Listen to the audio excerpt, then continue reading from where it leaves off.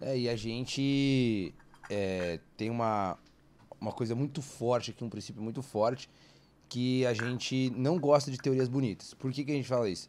Porque hoje é muito fácil olhar, abrir o Instagram, entrar na internet e você vê um monte de teorias bonitas lá, um monte de, de plano para você ficar rico, um monte de plano para você emagrecer, um monte de plano para você fazer qualquer coisa. E aí você vai ver na prática nunca funciona aquilo de fato que a pessoa prega. Então a gente é muito seletivo nesse lance de tipo, ó, a gente quer pessoas que vivenciaram na pele esse caminho do, de ter um resultado acima da média, porque assim, é uma lei, cara. Quando você passa para gerar um resultado acima da média, você passa por um processo de muitas batalhas, de muitas, muitos fracassos é, pontuais, de muitas quedas, de tem que levantar muitas vezes. Então, você, aí que você vai conhecendo a realidade de verdade, né? Então, quando você fala isso, eu fico imaginando assim o tanto de pessoas que não passam e nem tem consciência que tá passando por isso. Porque, é. como você falou, você demora para cair a ficha que você tá com uma doença, né? Uhum. Mesmo fazendo todo o tratamento, eu não, não tava doente. Pois é, e quando que cai a ficha que você muda assim do tipo, não preciso mais ser magra ou não vou mais ser magra? Quando que, que muda essa, essa, essa, essa forma de pensar? Quando que se muda essa atitude, por exemplo? Olha, eu acho que os 40 dias que eu fiquei internada me fez pensar muita coisa.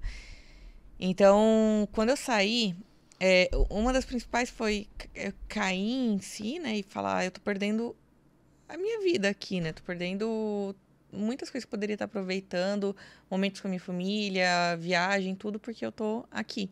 E isso fazendo todo mundo sofrer comigo. É é porque minha mãe também estava ali o tempo todo. E, e aí, quando eu saí da internação, eu falei, bom, eu não quero voltar. Então, o que eu vou fazer? Vou começar a fazer uma atividade física, vou começar a fazer academia porque eu vou voltar, só que, é claro, eu tinha muito medo de voltar a comer e do ganho de peso ainda depois, né? Eu saí da internação com 41 quilos. E aí, meu peso saudável, o médico falou: você só vai, voltar, você só vai poder ir pra academia, voltar não, porque eu nunca tinha ido. Você só vai poder começar a academia quando você tiver com o seu peso saudável, que vai ser 51 quilos. E para mim eu tava, nossa, é 10 quilos. Então, assim, aquilo vai ficar na minha cabeça. Ok, mas vamos lá, é a meta. É a primeira batalha que é já primeira, enfrenta, né? É. E aí ia indo de pouco em pouco. Porque assim, eu pensava, se eu ganhar esse peso fazendo atividade física, eu vou estar tá moldando o corpo que eu quero. Agora, se eu ganhar esse peso do nada, não vai estar. Tá. Só que eu estava desnutrida. Então eu precisava recuperar o meu peso. Não ia ser ganhar, ia ser recuperar. E aí eu tinha que também ficar entendendo isso, né? Então, não, vamos lá. E aí o peso subia, eu, vamos lá. E para ganhar esse peso também deve ser difícil, né? Para você recuperar isso. É, não, teve um tempinho ali. Mas aí teve a, conforme eu ia indo no, no tratamento, a nutricionista ia, ia, cada vez aumentando de pouco em pouco para eu não assustar também. Então ela ia sempre colocando. Não foi tão demorado, foi um período aí de oito meses mais ou menos. Não foi tão demorado, porque. Oito meses não. Eu saí de internação em fevereiro. Eu comecei a fazer. É. Aí eu comecei, por exemplo, no, em fevereiro, no começo do ano, eu comecei a fazer academia, ele me liberou tudo lá para novembro, que foi é. onde eu ganhei esse peso, né? De forma mais, assim, pouco, pouco em pouco, forma saudável. E aí, quando eu comecei a praticar atividade física, era duas vezes na semana e tudo. Aí teve uma carta do médico para levar. E, e quando eu comecei a praticar atividade física, eu era totalmente leiga, né? Aí eu, ah, praticar atividade física, eu sei que tem. Aí eu, ah, uma proteína, né? Ah, um queijo um queijinho, uma proteína, um pão, um carboidrato, fazia um misto quente e ia treinar. E aí eu já estava aceitando mais a comida e tudo. Já comecei a enxergar de uma forma diferente. É, aí, mas assim, totalmente leiga ainda no. Mas já estava comendo ali. É, só que a, a, o processo de. Eu, eu seguia muito bem a alimentação que eu tinha, o planejamento. Aí o processo de comer alguma coisa fora dali ainda demorou um tempo para acontecer, porque eu ainda não estava preparada com medo de me sentir culpada e da minha reação pós Caraca, isso. Caraca, é muito pior do que a gente é, imagina. É, assim. não, é, é um processo muito longo. Então, é, depois que eu comecei a praticar atividade física, não conhecia esporte, nada. Na verdade, eu, eu tinha meio que, não, essas pernas aí grossa, não. eu não quero isso, não. Aí eu, eu ficava, ah, não, é muito musculosa, não. E aí, assim, totalmente diferente da Isa de hoje. Tá, então eu tinha era outra totalmente visão. contra o que você queria. Não tem, não, não nenhum momento você imaginou assim, não, eu vou ser fisiculturista. Não, não entrei Nossa. na academia assim. E aí Caraca. eu comecei aos poucos é, lá na academia, conhecer, Como é que ver você chegou até a vídeos. academia? Como é que. O que, que te levou a fazer academia, por exemplo? A- aí na, a fazer academia foi o, o querer ah, ter o, o, o corpo da maneira que eu queria, de uma maneira saudável. Aí o médico mesmo te aconselhou a academia.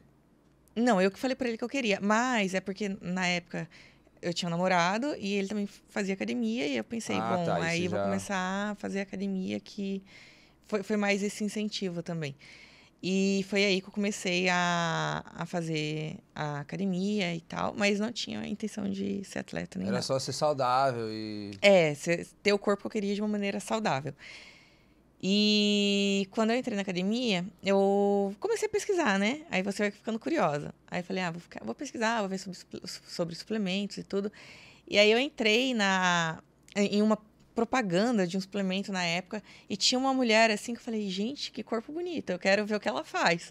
E aí eu fui ah, procurar o que ela fazia de alimentação, ah, o treino, tudo, só que não tinha Instagram, igual hoje que o pessoal que Era postava. acessível, né? É, e story toda hora do que tá comendo, do que tá fazendo.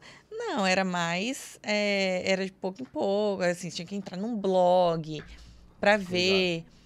é, você tinha que pesquisar muito mais.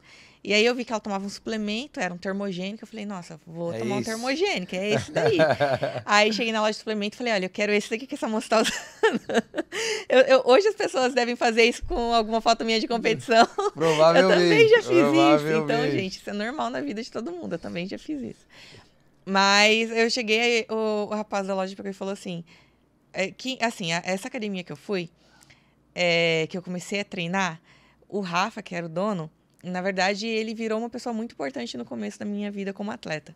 Porque ele me, me passou os primeiros treinos e tudo, e depois ele me incentivou muito Pra continuar. a continuar e a competir. Primeiro que ele falava, na minha academia não vai ter atleta, não vai ter fisiculturista, porque são tudo folgado e tudo. na época, mas depois mudou totalmente. Porque até a visão dele com atleta, atleta mesmo, né? É, e aí ele virou um super incentivador da, ali da região na época. Então, Isso em São Paulo já, né? Eu morava em Sumaré. Sumaré ainda. Sumaré. Tá. E, e aí eu comecei a treinar lá. ah, e aí eu fui buscar suplemento, e aí o dono da loja de suplemento, que também virou meu primeiro patrocinador, é, eu peguei e falei, olha, eu quero suplemento. Ele, não, mas você é muito magra, você não pode tomar isso. Ele, você vai tomar esse daqui. E aí ele me, me deu uma, uma massa é, da Integral Médica ainda, que é meu patrocinador hoje. Então, assim, há anos atrás ele me deu... é, me falou, você tem que tomar esse daqui. Que era o que? Suplemento que era? Era uma massa, era um hiper- hipercalórico. Hipercalórico. E aí era hipercalórico na época, hoje nem existe mais ele. Mas eu, ah, então tá, né? Vou tomar ele. E aí eu comecei a. a- foi meu primeiro suplemento. Comecei a tomar.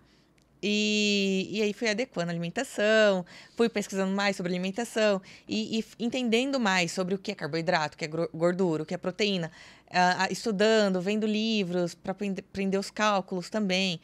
E aí depois eu queria ir nutricionista esportivo. É, eu queria nutricionista esportivo porque eu queria uma dieta mais voltada para o esporte. E aí foi a, a- parei de ir na nutricionista Unicamp e tudo para procurar um nutricionista esportivo.